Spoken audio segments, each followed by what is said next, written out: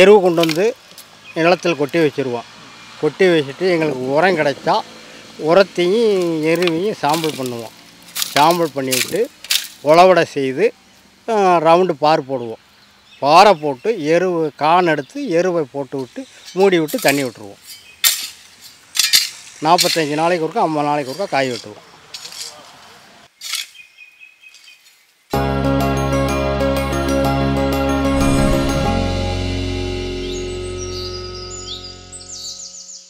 திண்டுக்கல் மாவட்டம் சேவமுட்டி பேரூராட்சி. நாங்கள் வசிக்கிறது அன்பு நகர் ஆர் நாகையா அப்பா பேர் ராமலிங்கம் பிள்ளை.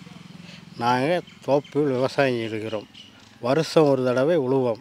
உழவடை செய்து எருவு போட்டு மா- உரம் கொஞ்சம் கொடுத்தாலும் கொடுப்போம் இல்லாட்டி இல்லை. வருஷத்துக்கு ஒரு கத்தான் ஆறு மாதத்துக்கு ஒருக்கா எருவை மாற்றிடுவோம்.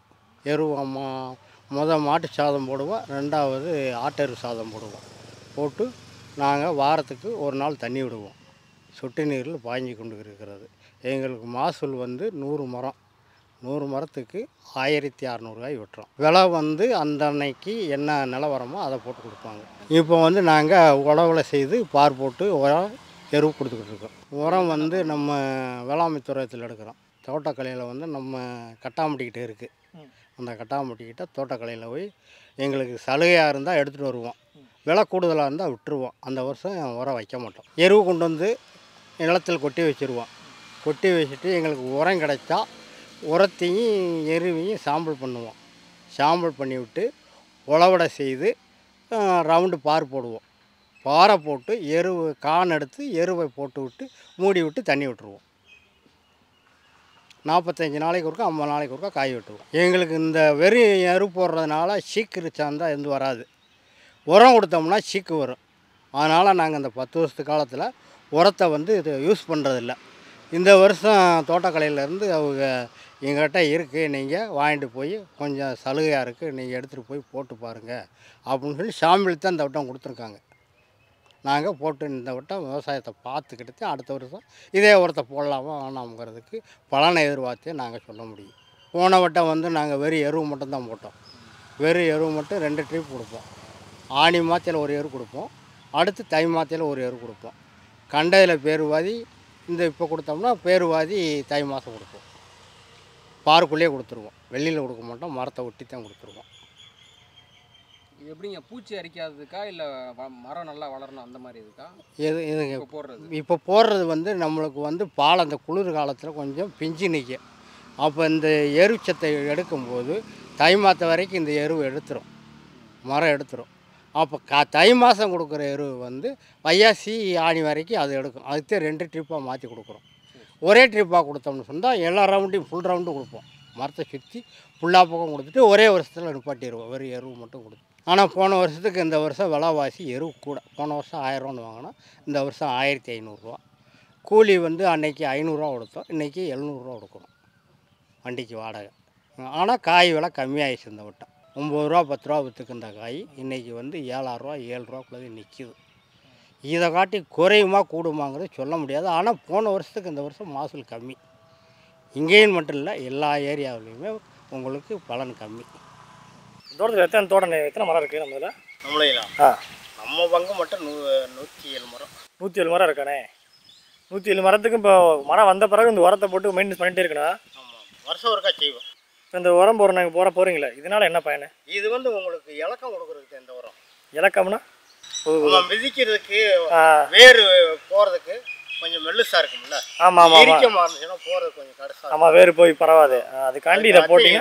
வேர் வேகமாக இறங்குறதுக்கு இந்த உரம் இது வந்து வருஷத்துக்கு எப்பவுமே கொடுத்துருவீங்களா? வருஷம் வருஷம் கொடுப்பீங்களா? இல்லை எப்படி? இல்லை இந்த வருஷம் தான் இந்த உரம் கொடுக்குறோம். அப்படிங்களா? இதுக்கு முன்னுக்கு இந்த அஞ்சாறு வருஷம் நாங்கள் உரமே தொடலை. ஓ அஞ்சாறு வருஷம் கொடுக்கவே இல்லை இப்போ தான் கொடுக்குறீங்க அது அந்த தோட்டக்கலையிலேருந்து சொன்னாங்க. ம்.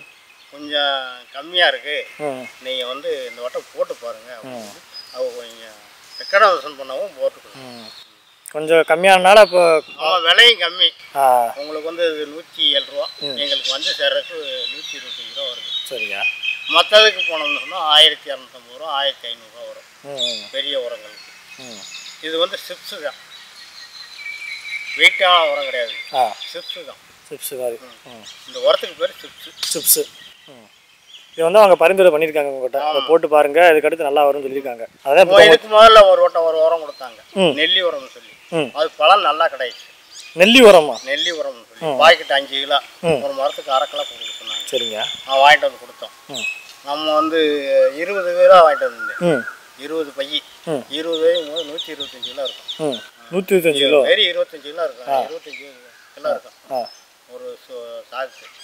அதை கொண்டு வந்து அரை கிலோ மணிக்கு போட்டோம். அரை கிலோ போடும்போது எங்களுக்கு ஓரளவுக்கு பலன் நல்லா கிடைக்கும். நல்லா கிடச்சிச்சு அந்த நெல்லி அந்த இதில். நெல்லி உரங்கிறது நெல்லி உரத்தில். ஆமாம் அறுபது ரூபாய்க்கு கொடுத்தாங்க. அது நமக்கு விவசாய தனியாக சலுகையில் மாதிரி தர மாட்டாங்களா? அதுக்கு அமௌண்ட் கொடுத்து வாங்கணுமா? அதாங்க அது வந்து உங்களுக்கு நூற்றி இருபது ரூபா.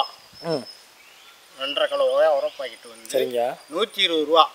நூற்றி இருபது ரூபாய் எங்களுக்கு அறுபது ரூபா மணிக்கு மானியத்தில் விட்டாங்க மானியத்தில் அதான் அந்த மானியத்துக்கு இப்போ அந்த மானியம் நின்று வரலேன்ட்டாங்க. வரலன்ட்டாங்களா இப்போ வரலேன்ட்டாங்க. மொத்த உரம் இருக்குங்கிறாங்க.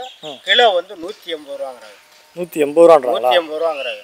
அப்போ ரெண்டரை கிலோவுக்கு என்ன ஆச்சு எங்களுக்கு கட்டுப்படி ஆகாது. ஆமாம் கட்டுப்படி ஆகிட்டு இன்னைக்கு விற்கிற விலைவாசிக்கு அதை வாங்கி போட்டோம்னா எங்களுக்கு கட்டுப்படி ஆகாது. ஆமாம் ஆமாம் ஆமாம் அப்படின்ட்டு வேணாம்ட்டோம். வேணாம்ட்டீங்க. அதனால் இப்போ அஞ்சு வருஷம் கழிச்சு இப்போ இந்த உரத்தை வாங்கி அதுவும் போட சொன்னால மகசூல் வராதனால போட சொன்னால போட்டிருக்கீங்க. சரிங்க. அப்போ இதை போட்டு கொஞ்சம் இன்னும் ஒரு கொஞ்சம் ஆறு வருஷம் ஆகும். என்னன்னு இப்போ எப்படி இருக்குன்னு சொல்லிட்டு எங்களுக்கு இப்போ தெரியாது. அடுத்து தை மாசியில தான் எங்களுக்கு தெரியும். மாசில தான் உங்களுக்கு தெரியும். அதாவது ஒரு உரம் கொடுக்கணும்னு சொன்னால். நாலு மாதம் கழிச்சு அது பலன் தெரியும். உடனே தெரியாது. ஏன்னா இதுக்கு கீழே வேர்ல இருந்து உறிஞ்சி போய் அங்கே பலன் கிடைக்கிற. போகும்போது கரெக்டாக எங்களுக்கு மூணு மாதம் ஆயிரும். மூணு நாட்கள் ஆகும். சரிங்க இப்போ இந்த இதை பண்ணிக்கிறீங்க இப்போ. இதுலேருந்து என்னென்ன வியாபாரம் பண்ணுறீங்க ஒரு தென்னை வளர்த்தாங்கன்னா அதுலேருந்து என்னென்ன வியாபாரம் பண்ணுறீங்க நீங்கள் அதில் வச்சு? நாங்கள் தேங்காய் ஒன்று மட்டும் தான் கொடுப்போம். தேங்காய் ஒன்று கொடுக்குறீங்க. இந்த சோகை இதெல்லாம் வச்சு பின்ன. கட்டிட்டு அவன் கட்டிட்டு இதை நீங்கள் பண்ணலையா? நம்ம அந்த இதை பார்க்கல. அவங்க வந்து கட்டு பத்து மய பத்து மட்டையை வச்சு பத்து ரூபா நம்ம மட்டை எடுத்துருவாங்க இப்போ ஒரு தென்னை மரம் வச்சா அது அதுலேருந்து என்னென்ன வியாபாரம் பண்ணலாம்? தேங்காய். வியாபாரம் பண்ணலாம். ஈக்கி இழிச்சு விற்கலாம். ஈக்கி கழிச்சு விற்றோம்னா ஒரு மட்டைக்கு வந்து பாஞ்சு பாஞ்சு ரூபா வரைக்கும் விற்கலாம். ஈக்கி கழிச்சு விற்கிறதுனா எப்படிங்க? பெருக்கிற மாதிரி. பெருக்கிற மாதிரி சொல்கிறீங்களா அதான் சொல்கிறீங்களா அது வந்து அதான் அது ஒரு வியாபாரம் மாதிரி பண்ணலாம். ஒரு வியாபாரம் பண்ணலாம். ஆ அப்புறம் நல்லா ஓய்வு இருந்துச்சு கொஞ்சம் வயசாக இருந்துச்சுன்னா கிடுகு பண்ணலாம். கிடுகு பண்ணிடலாம் ஆமாங்க. கிடுகு பண்ணும்போது வரிசையும் வேலையை வாங்கிட்டு போயிடுவாங்க கிடியும் வாங்கிட்டு போயிடுவாங்க. சரிங்க.